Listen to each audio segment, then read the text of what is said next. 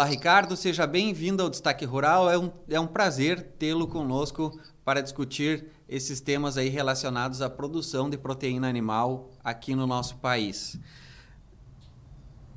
Muito obrigado, Leonardo. É um prazer para mim estar falando com você, falar com Passo Fundo e toda a região e todos os seguidores e espectadores da Destaque Rural. Muito obrigado pelo convite. Para darmos início, então, a gente não pode fugir do principal tema aí que tomou conta de todos os noticiários, de todas as pautas. Então, gostaria de saber como é que foi a pandemia pra, para o segmento de vocês. Bem, esse foi um ano de muita superação, Leonardo. A gente sabe que produzir aves, produzir suínos e ovos já é difícil porque tem que ter toda uma cadeia de produção para não deixar faltar comida na mesa dos brasileiros. Muito mais difícil é quando você tem uma pandemia mundial. Ela é difícil para você poder produzir, e aí a BPA tomou uma decisão, capitaneada pelo conselho diretivo da, da nossa entidade, de cuidar dos nossos colaboradores e não deixar faltar comida na mesa dos brasileiros. Lá no começo da pandemia, estabelecemos protocolos de segurança para que os colaboradores fossem protegidos e conseguimos isso até agora. Poucas plantas fecharam por pouco tempo, retomando, tendo cuidado com as pessoas e cuidado com os alimentos e com a comida. Isso seguiu com essa dificuldade, mas mais difícil também foi manter o mercado externo. Por quê? Porque nós somos o maior exportador mundial de frango e o quarto maior de suínos. E os mercados lá fora fecharam também os seus restaurantes, como fechou no Brasil. Restaurantes, quick services, e essas dificuldades todas de diminuição do consumo que enfrentamos no Brasil também teve nos outros lugares. Mas foi difícil, mas felizmente quando chegamos ao final do ano, vemos um panorama positivo de podemos cruzar esse ano de 2020 de cabeça erguida, porque a gente conseguiu manter comida na mesa dos brasileiros e atender aos nossos importadores, auxiliando na segurança alimentar daqueles países. Nós tivemos aí uh, alguns casos, por exemplo, lá na China, de, de identificar uh, o, o, vírus nos alimentos. Como isso foi uh, tratado pelo segmento e como conseguiram superar esses empecilhos que foram aparecendo no meio do, do do caminho aí, como por exemplo também o grande número de infectados que teve em algumas plantas, né, pelo Covid, muito uh, devido ao ambiente mais frio, a, a proximidade das pessoas ali, uh, mas a gente vê que de um tempo para cá as notícias de que esses ambientes estavam uh, com pessoas contaminadas não aconteceu mais, né? Aprenderam a, a trabalhar com, com essa questão, uh, o vírus, Como... desenvolveram protocolos mais adequados? Comece pela parte final da pergunta. A única coisa, a diferença que tem, é que no começo da pandemia, os frigoríficos eram os únicos que testavam. Os números sempre foram absolutamente pequenos e ínfimos, menores do que 1%. E nunca pessoas infectadas dentro das plantas, fora delas as pessoas são mantidas fora da planta quando tem qualquer, digamos assim, sintoma, não entra para a planta. Mesmo aí em Passo Fundo, fechou e logo abriu de novo, por quê? Porque o contingente de pessoas que estavam sendo então, assim, afastadas por terem sintomas era ínfimo quando olhava o número de empregados. É 0,4, 0,1% da, do total dos frigoríficos. Basta ver que hoje só se fala de asilos e de outros lugares por infecções. Não há mudança nem evolução dos protocolos. A gente teve aquela portaria interministerial número 19 e foi cumprida desde o início. Lá no começo da pandemia, como te falei, nós desenvolvemos um protocolo em colaboração com, com o Hospital Albert Einstein de São Paulo. E ele foi aplicado e está sendo aplicado integralmente até hoje, com um custo muito grande, mas conseguimos sim proteger as pessoas. Lógico, no primeiro, no começo da pandemia, parecia que tinha mais, mas na verdade agora, hoje, é uma coisa inclusive reconhecida pelo governo, essa doença é comunitária, ela não se transmite pelo trabalho, se transmite no dia a dia, na rua, infelizmente.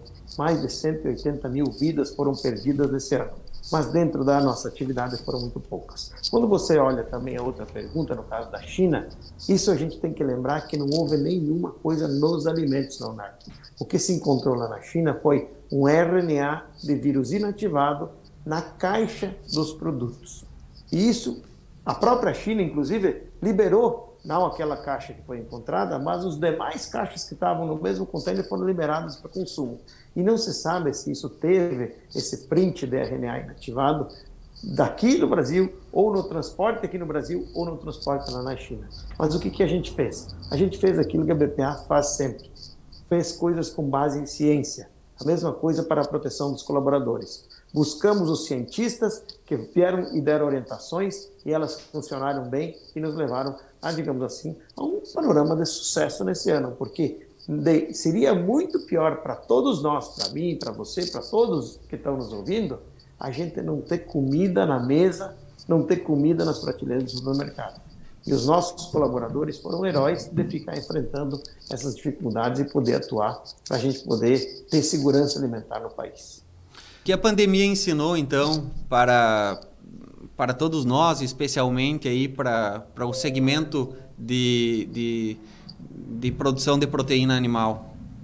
Bem, foram vários os ensinamentos, né? Quando você olha no cunho pessoal, a gente aprender a valorizar, tenho dito, valorizar a família, valorizar as amizades, valorizar acima de tudo a pessoa humana a gente viu que se não protegesse as nossas pessoas, os nossos colaboradores, não adianta de nada ter grandes indústrias se você não tiver pessoas para tocar. Esse foi o grande valor. Reforçou a importância do ser humano nesse processo e de cuidar das pessoas. Ela ensinou naturalmente que a gente reforçando e, inclusive, não só nos ensinou, nos mostrou que estávamos no caminho certo. Porque hoje, dentro de um frigorífico, é tão ou mais limpo que um pronto-socorro.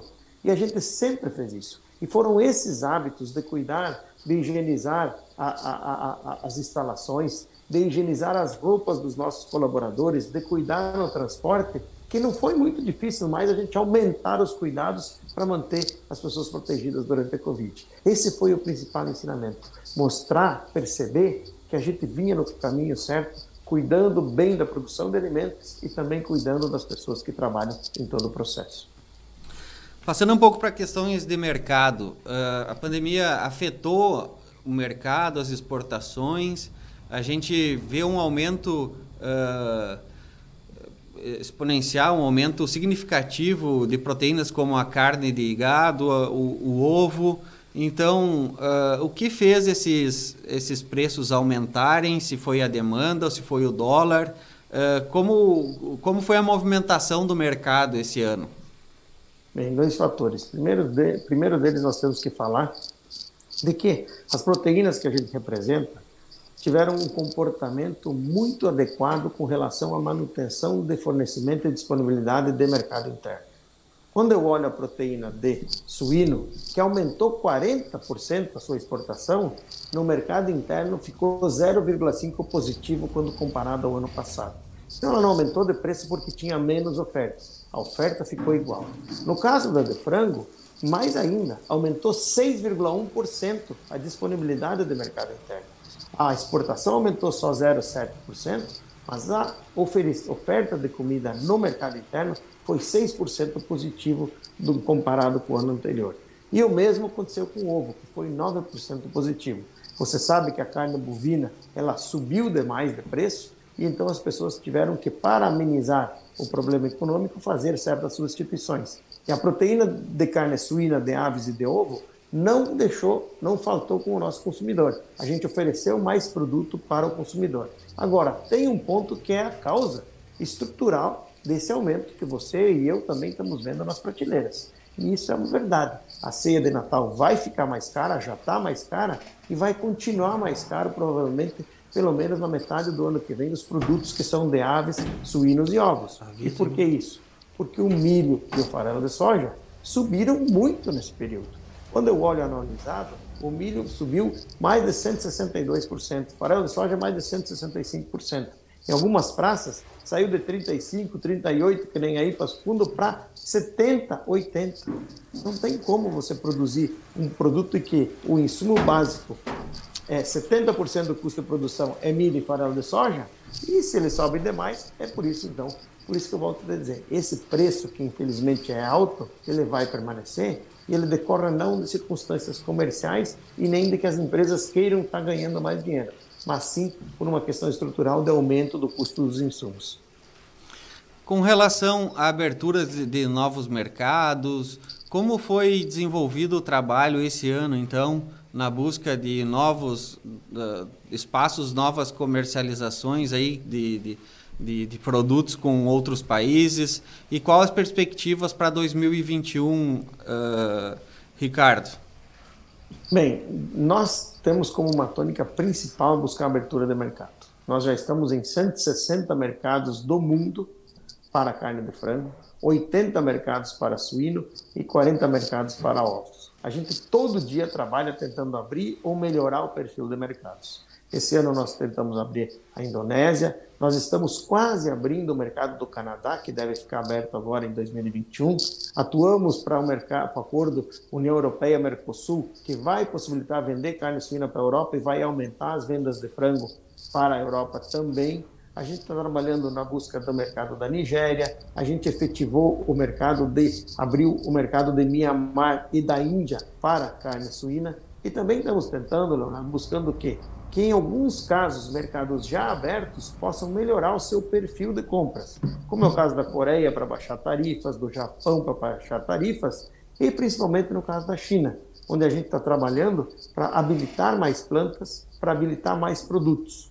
No caso aqui do Rio Grande do Sul, a declaração de livre de aftosa sem vacinação vai possibilitar que a gente venda produtos para a China, inclusive produtos com osso, e que possa ter acesso a mercados como Coreia do Sul, Japão e outros. Então, essa é a verdade. Nós trabalhamos eternamente para abrir novos mercados e buscar novas oportunidades para os produtos do Brasil. Em 2021, como você me pediu, as perspectivas são positivas também. Nós esperamos que a carne suína vá crescer na casa de 3% e a exportação, segundo o USDA e a própria BPA, deve crescer em 10% durante 2021. Quando olhamos a carne de frango, nós deveremos ter um crescimento na faixa entre 3% e 5%, chegando a 14 milhões e 200 até 14 milhões e 500 mil toneladas de produção, mantendo a exportação também em crescimento na casa de 3% chegando aos 4 milhões e 300, 4 milhões, até podendo chegar um pouco mais, porque infelizmente para o mundo, além da peste suína africana na Ásia, há também agora a influenza aviária em países da Ásia e da Europa, o que pode diminuir a produção de alguns países e o Brasil ser chamado a aumentar suas exportações. No caso de ovos, o crescimento vai ser basicamente na produção para o mercado interno, que deve girar na casa de 5,1% em 2021 e talvez a gente aí crescendo um pouco as exportações, porque a gente tem visto que o setor de ovos agora está buscando mais exportação. Por isso avaliamos que, além de ser positivo, apesar de ter pandemia em 2020, a gente vê uma projeção para 2021 que continuará, continuará positiva e vai dar sustentabilidade ao nosso produtor, a cadeia toda de produção de aves, suínos e ovos. Tá certo então, Ricardo. Agradeço muito a sua participação aqui no Destaque Rural. É sempre um prazer tê-lo conosco aqui e estamos à disposição então para sempre que uh, acharem pertinente aí nos comunicar, uh, entrar em contato e a gente está, estará sempre à disposição. Uh, um, uma boas festas para todos aí da associação. Desejamos um excelente 2021 e novamente muito obrigado aí pela participação. Obrigado a você, Leonardo. Obrigado a toda a equipe do Destaque Rural, a toda a região, todo o nosso estado. É uma honra falar com vocês. Eu fico muito alegre de falar nas minhas origens. Então, quero desejar a você, a família, um feliz ano novo. Que tenha muito frango, suíno e ovo e doces feitos com ovos para o final do ano. E que Deus proteja todas as famílias dessa Covid e que a gente possa iniciar 2021 com sucesso para todos nós. Um grande abraço. Fiquem com Deus.